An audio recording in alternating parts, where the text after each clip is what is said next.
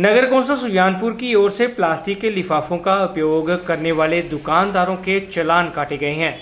नगर council Sujanpur के EO विजय सागर मेहता द्वारा शहर के मुख्य बाजारों में अधिकारियों सहित छापेमारी कर प्लास्टिक के लिफाफे जब्त किए गए। वे दुकानदारों के चलान काटे गए।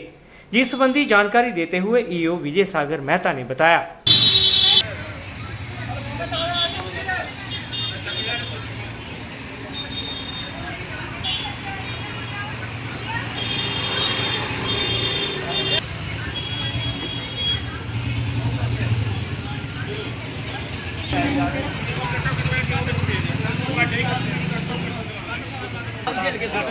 ਦੀਆਂ ਰੱਖੀ ਦੇ ਮੈਂ ਇਹ ਦੇਖੋ ਮੇਰੇ ਇੱਧਰ ਵੀ ਰਹਿੰਦੇ ਆ ਪਤਾ ਕੀ ਆ ਹੁਣ ਨਾ ਕੀ ਨਾ ਬੋਲੋ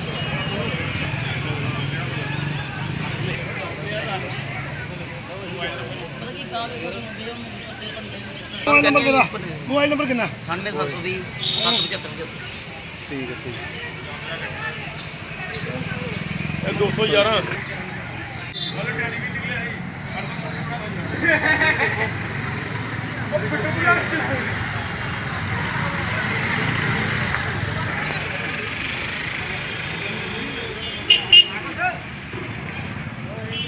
ਮੈਂ ਕਾਰਜ ਸਾਧਕ ਅਫਸਰ ਵਿਜੇ ਸਾਗਰ ਮਹਿਤਾ, ਨਗਰ ਕੌਂਸਲ ਸੁਜਾਨਪੁਰ ਵੱਲੋਂ ਅੱਜ ਵਿਸ਼ੇਸ਼ ਮੁਹਿੰਮ ਤਹਿਤ ਪਲਾਸਟਿਕ ਦੇ ਲਿਫਾਫੇ ਅਤੇ ਜਿਹੜੇ ਗੰਦ ਪਾਉਂਦੇ ਹਨ ਰੇੜੀ ਵਾਲੇ ਜਾਂ ਕੋਈ ਵੀ ਪਾਉਂਦਾ ਹੈ, ਉਹਨਾਂ ਦੇ ਆਪਾਂ ਸਾਰੀ ਟੀਮ ਨਾਲ ਚਲਾਨ ਕੱਟਣ ਆਏ ਹਾਂ। ਜੇ ਘਾਹ ਮੰਡੀ ਦੇ ਵਿੱਚ ਕਈ ਬੰਦਿਆਂ ਨੇ ਜਿਹੜੇ ਆ ਪਲਾਸਟਿਕ ਦੇ ਲਿਫਾਫੇ ਯੂਜ਼ ਕਰਦੇ ਸੀ, ਉਹਨਾਂ ਦੇ ਅਸੀਂ ਲਿਫਾਫੇ ਵੀ ਜ਼ਬਤ ਕੀਤੇ ਆ ਤੇ ਜੁਰਮਾਨਾ ਵੀ ਪਾਇਆ ਹੈ। ਇਸ ਦੇ ਨਾਲ ਮੈਂ ਸ਼ਹਿਰ ਵਾਸੀਆਂ ਨੂੰ ਅਪੀਲ ਕਰਦਾ ਹਾਂ ਕਿ ਆਪ ਆਪਣੀਆਂ ਨਾਲੀਆਂ ਆਲੇ ਦੁਆਲਾ ਜਿਹੜਾ ਸਾਫ਼ ਸੁਥਰਾ ਰੱਖਿਆ ਜਾਏ ਤੇ ਨਗਰ ਕੌਂਸਲ ਦਾ ਸਹਿਯੋਗ ਦਿੱਤਾ ਜਾਏ। ਧੰਨਵਾਦ।